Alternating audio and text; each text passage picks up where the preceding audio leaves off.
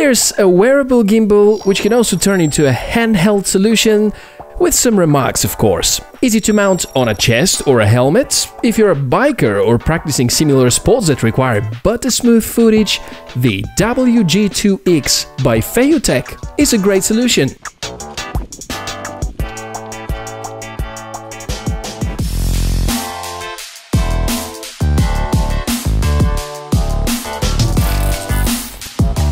Hey, welcome to the Tech4All channel. It's Michael speaking, and we're about to deep dive into the world of another interesting gimbal. This time, purpose-based, and for some specific use cases, it's ideal for bikers, however, does have certain drawbacks, which we will note by the end of the video. In this review, I'll show you the hardware and design, we're gonna talk about the operation and the software controls via the smartphone app, and that all would be accompanied by a lot of examples and demos of its real-life performance. Let's start with the unboxing process. It has a major importance here because shows how well the device is packed and also that the box is supposed to be used as a carrying case. Material is similar to the carrying cases of much more expensive gimbals at, of course, a much more reasonable scale for such a small device.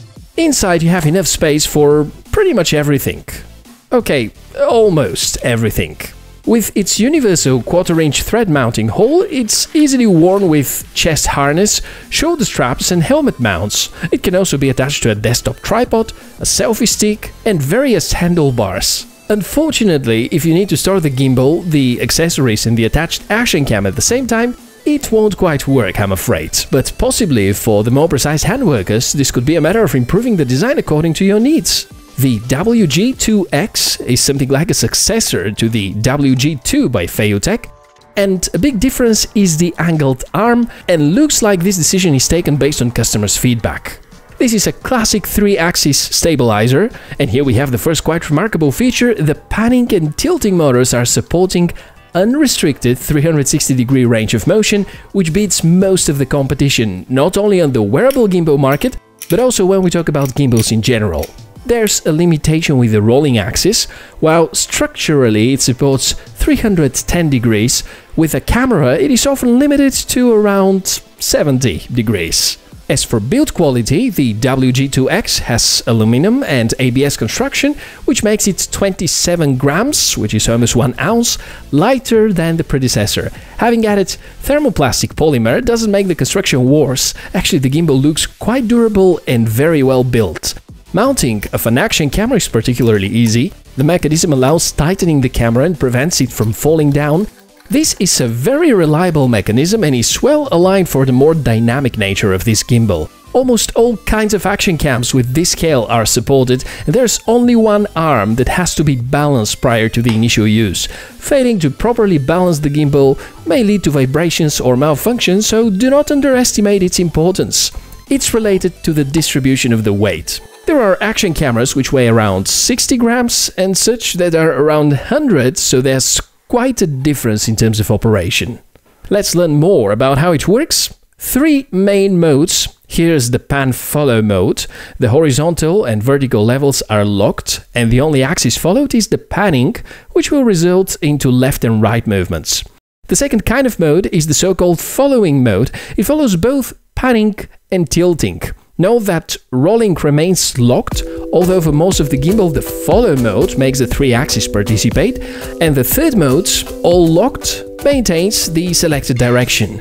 We can see a few buttons integrated, and they all bring some nice features. The previously mentioned modes are changed by pressing the so-called mode button, there also is a dedicated shutter button, which works well with supported action cameras, and with this gimbal, the main focus is on the GoPro line. I've tested with the Hero 6 and Hero 7 Black, and they both worked well, and Feiyutech promised this to work fine with the Hero Session, as well as the fifth generation of the Hero series. It didn't quite work with the new DJI Osmo Action, neither with the SJ-Cam SJ8 series. Of course, most of the higher-end action cameras nowadays have a voice control feature, which works well most of the time, and that's something you can count on instead. The gimbal can easily turn into a handheld stabilizer, with the huge disadvantage that it lacks a control wheel or joystick. But the Feiyutech team has found a great solution to compensate for that as well.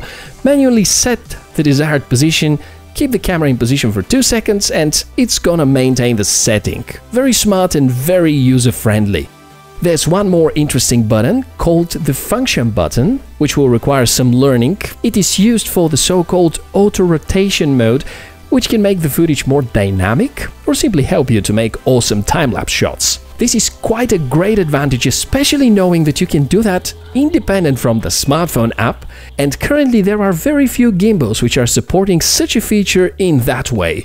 The app on the other side is the well-known Feiyu On, and while I like so much Feiyu Tech gimbals, there's one thing I still can't enjoy to the maximum, that's the smartphone app.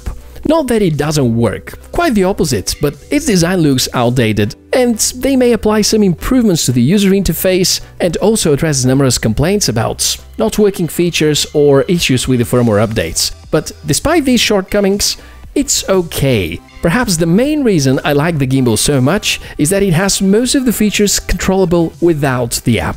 From the software you can do some more fine-tuning and motor configuration, which is always a good thing in order to get the maximum out of any kind of device.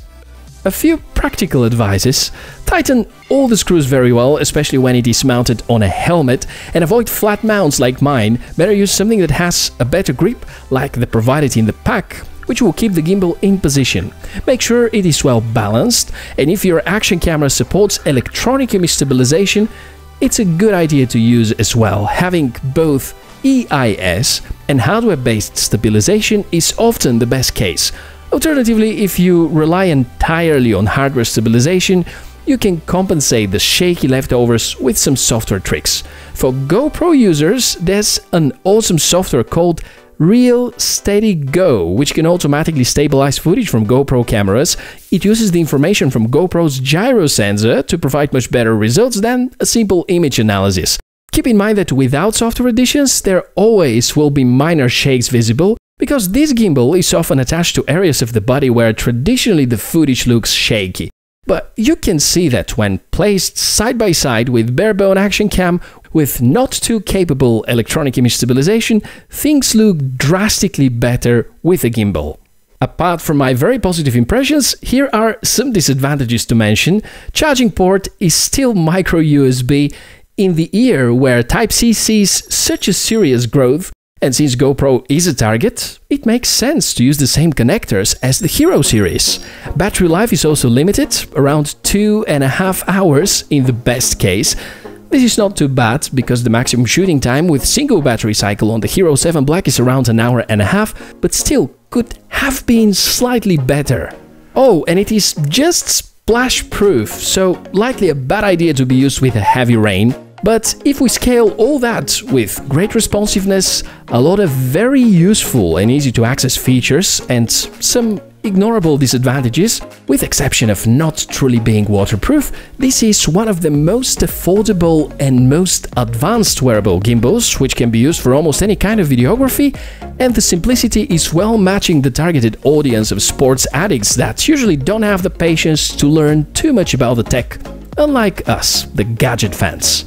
At the end, there's one very important question to ask, which was like the elephant in the room during the whole review looking into how well the mighty Osmo Action handles this kind of footage, does the usage of filters or squeezing a bit more stability justifies the hassle of mounting an extra device? Let's see what you think and let's get in touch in the comment section below the video. Thank you so much for watching this review and I'm looking forward to see you in the next one. Cheers!